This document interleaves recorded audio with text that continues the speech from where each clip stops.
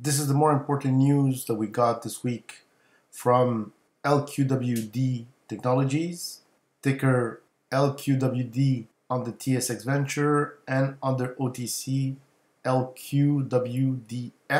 The company on October 29, 2024 reported that they acquired five additional Bitcoin and that overall the company holds 136 Bitcoin, representing 13.6 billion Satoshis, equating to, and this is a, uh, a way that they uh, display the value, 139 Satoshis per LQW share. They say that the company is debt free and plans to buy additional Bitcoin and add it to its balance sheet. Just a quick reminder LQWD is a proxy of Bitcoin and also is involved in the Lightning Network. So this company takes the Bitcoin, uses to establish Lightning channels, and collects fees from the different transactions that go through their network. Now let's have a look at the chart. So here is LQWD Technologies chart. This is the four hour chart to have a little more data. The chart is still bullish. We continue to go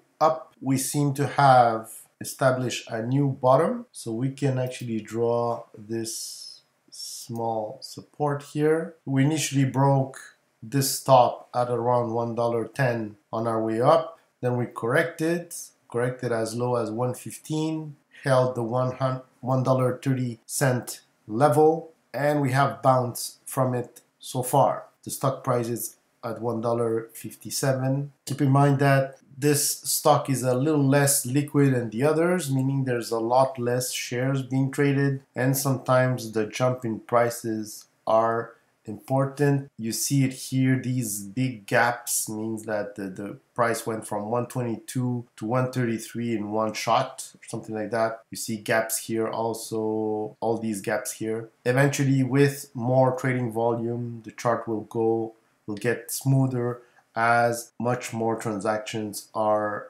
processed for this company. This always happens when the company does not trade a lot in the exchanges and the TSX Venture stock market has smaller companies than the TSX, which is the biggest exchange in Canada. So some stocks get listed initially in the TSX Venture, and as they grow, sometimes they'll jump to the TSX. And once they're in the TSX, they can actually be listed in the US also at the same time. So that's what's usually happening. So in this case, we see these gaps because there's not a lot of buyers and sellers at all the different levels. And sometimes when you buy, especially if you buy at the market, meaning that you're going to buy whatever share is available. Sometimes the price goes from uh, 140 to 143 and then to 145 and then from 150. That can happen. You don't have sellers at all the different levels. So this will change as the market cap of the company goes higher. This is a small market cap company. It's around $25 million, so it's not a huge company. That's why you see it in the chart for those who are curious about, about that. So, so far, we're still in the exponential phase. We corrected once, but bounced harder are we going to stay above 150, for example? Will this be another support eventually? We need to see what the market will show us. Over the weekend, when I'm doing this video, Bitcoin has corrected quite, quite heavily. It's around 67,600 right now. It was near 7,000, I think, on Friday. So that's $2,500 lower. Will this affect the proxies on Monday. It's going to depend how it recovers over the weekend. If it by the end of Sunday it's near 70,000, the impact should be lower. But if it's still down, then we could see sell off in these proxies. That can happen, so just be aware of that. But for now, LQWD chart is still bullish. Again, not financial advice, but for those who want to get into the asset, you need to look at what Bitcoin is doing you also need to look at the different support levels on these stocks and try to buy in multiple batches, not only once, and near support levels. Do not chase these stocks, please. not financial advice. In my opinion, these companies are undervalued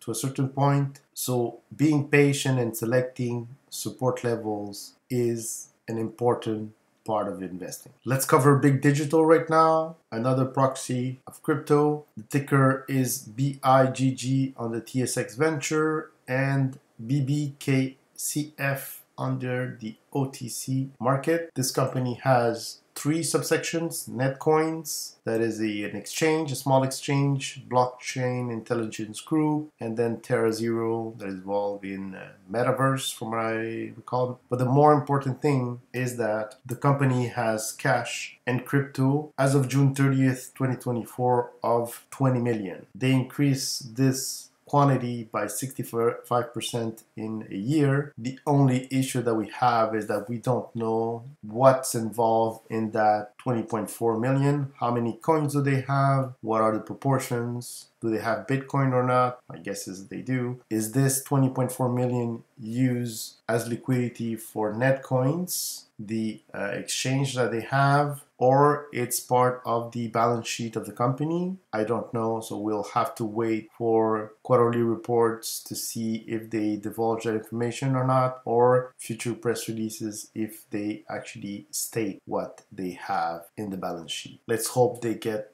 we get clarity on that. Let's go to the chart now. So this is the 30 minute chart of BIGG Digital Assets, ticker BIGG. The stock is trading at 19 cents. We got the big jump in price from 14 cents up to a high of 0.255 cents and then we have corrected. So we see the big jump in volume here, but now we have dwindled down to previous type of levels. Some people got profits on the way down, and now we seem to have established a support at 18 cents. We'll have to see if that support holds. On the 30 minute, the MA50 is already above the price, so this will come down but the MA200 here shows support, meaning it's below the price, but both are going up and to the right. On the 4 hour chart we see a little bit the same thing. The big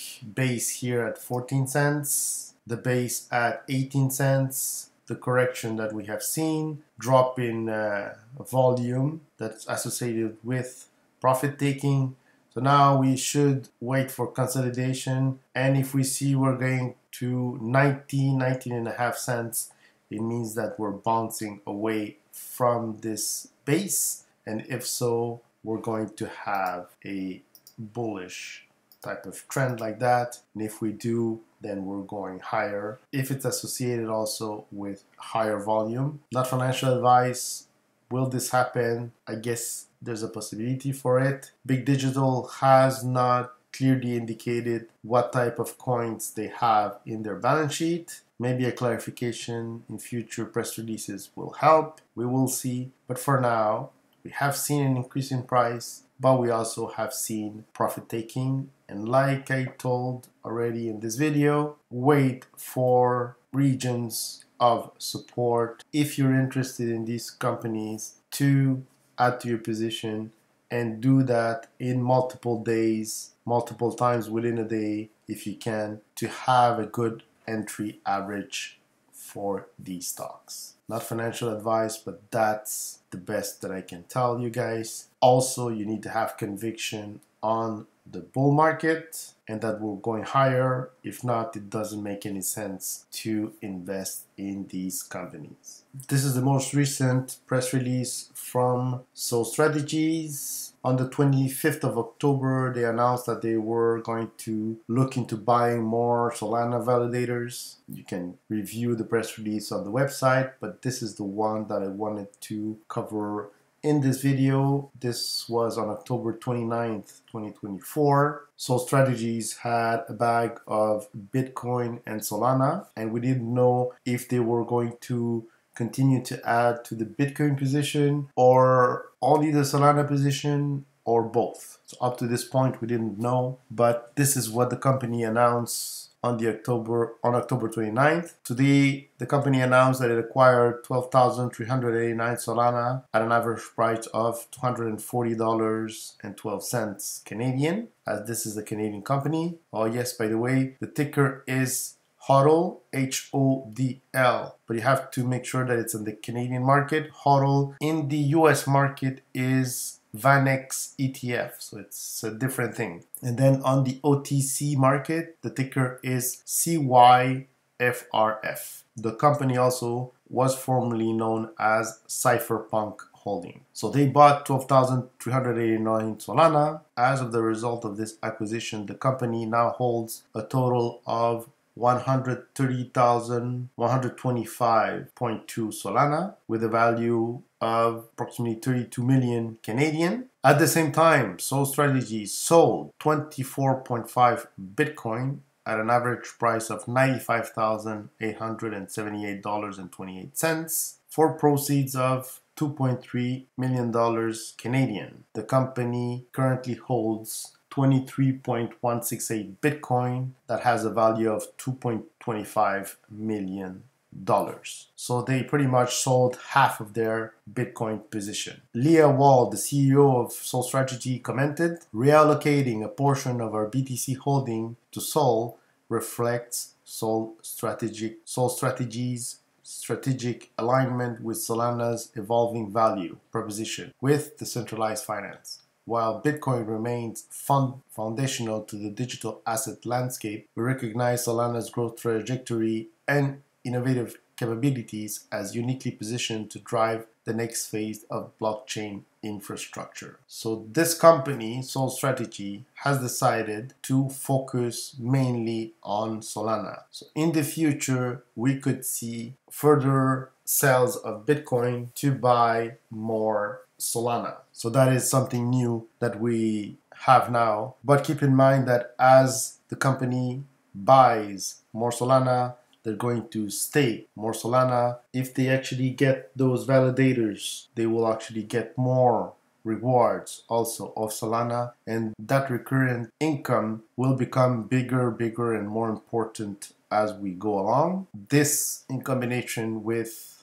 whatever price action we see in Solana, the underlying asset. Now let's go to the charts. This is one of the most liquid proxies that we have. We're trading in the millions of shares every single day, so that's pretty good. Like I told you guys, we should expect volatility with this asset. Solana is more volatile than Bitcoin, therefore, the upsides and the corrections are going to be more important than Bitcoin. You need to expect the same thing from proxies. MicroStrategy is more volatile than Bitcoin, and Bitcoin is already quite volatile. So we should expect the same thing with Sol Strategies here, which is a proxy of right now Bitcoin and Solana, but more and more will probably be only Solana. So with that said, we saw this huge run of the price from 24 cents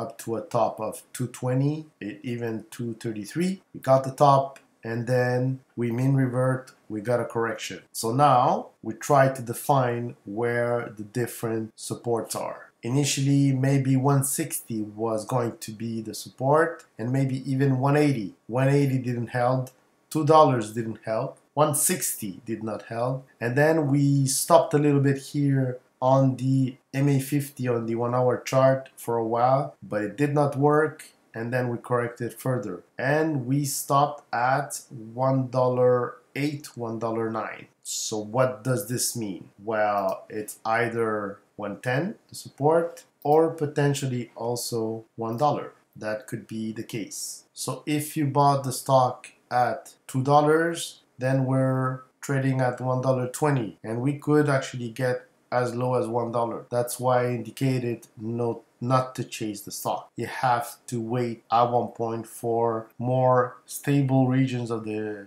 chart to see where you can enter. So, so far, we got this huge wick here that stopped at 110, bounce. Then we touched it again and we went as 112 potentially here. Then we went as low as 109, bounce. Then we touch again here, 111, potentially 112, bounce. And then we are correcting a little bit and we stopped at 122. So that's where we are right now. Here the MA50 now is above the price, so it's going to probably turn. MA200 here continues to go up. So the momentum is still up. There's no issue with that, but we have corrected quite a bit already. So could we correct a little more? Maybe we'll correct a little more because Bitcoin has corrected quite a bit over the weekend. Maybe that will affect it. But as soon as we see a big rebound from Bitcoin, we should see the stock react upwards. Not financial advice, that's my opinion.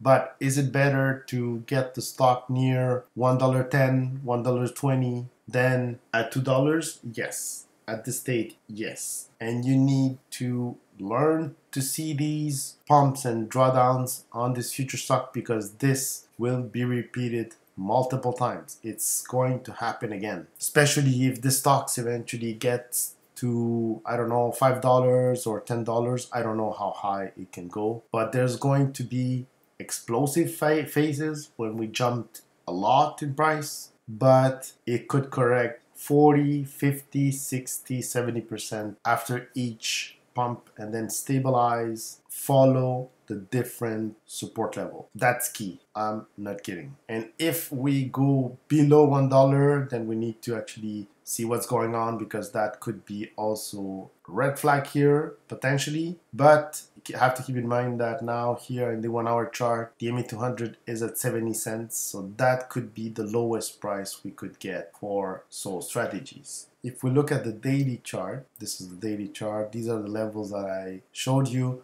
you see the huge amount of volume that we have compared to what we had before. So you see here that actually the movement starts from 20 cents up to 235 and then we are at $1.20 okay? So from 2 to 230 that's a $2 and 10 cent move. If you divide that by 2 so $2.10 divided by one half that's $1.05 which is here. Normally, stocks pump and at least Uh, on average they correct 50% and that's what we see here. We are not exactly at 50% but we are very close to 50%. So now, are we going to trade sideways and move up? That could be a healthy move. And what's even healthier is in the daily chart, we have MA50 at 47 cents and a half and the MA200 at 21 cents. So it's starting to move up. It's starting to show momentum and this stock is it means that it's just starting its movement. Is it a good opportunity at this stage? My guess is yes, but be aware of the support levels. I am still holding my position. Plan to keep it for long term because I have a lot of conviction on Solana. Unless something big happens with Bitcoin and gets back to 50,000 or something, then this could all crumble and go down harder. We will track the charts. I'll make videos on it. The probabilities are that we are getting the last liquidations on the way down to get the massive pump to all-time highs and go beyond with Bitcoin. Solana will follow and proxies should follow. If they are proxies that are 100% Bitcoin, they will follow Bitcoin. If the case of Sol strategy is like 80% Solana, 20% Bitcoin, obviously Solana's influence will be stronger. But at this stage, because these proxies are starting to move right now, the market is trying to establish what is the real value of these stocks. And that's why we see these pumps, but also the big corrections. And then we will eventually follow the momentum of the underlying asset, Solana or Bitcoin. That's all I have today. Hope you enjoyed this video. Continue watching. Put your questions below. I try to answer to every single question if I can. Follow both channels. And if you want to know what the other channel is, let me know and I'll post the link in the different videos. See you all in the next one.